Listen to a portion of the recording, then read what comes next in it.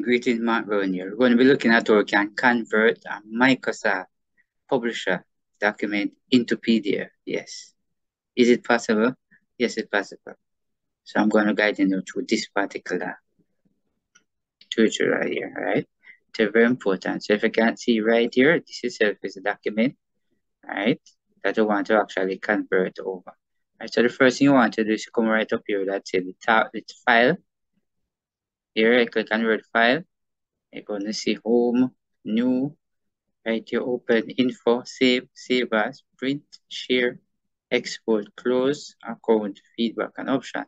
But what you wanted to focus on is the word export.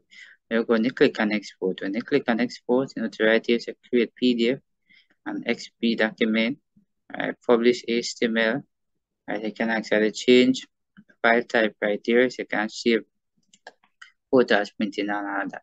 Now we want to create the PDF, right? Going to click right here. Now when you click right here, you notice right here, show you calendar of event right here. Now you want to see it on desktop. So go right over here, close up, and you're to click right here on your desktop. Right, option, you can actually click on option to see different option that you really have right here. And then you can choose and press OK. Now I'm to press and republish. Now if you notice right here, right away, my document become a PDF. You notice right up here, it's PDF. So I'm going to close it and minimize this.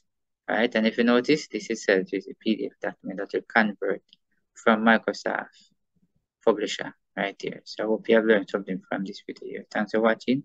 See you in the next video.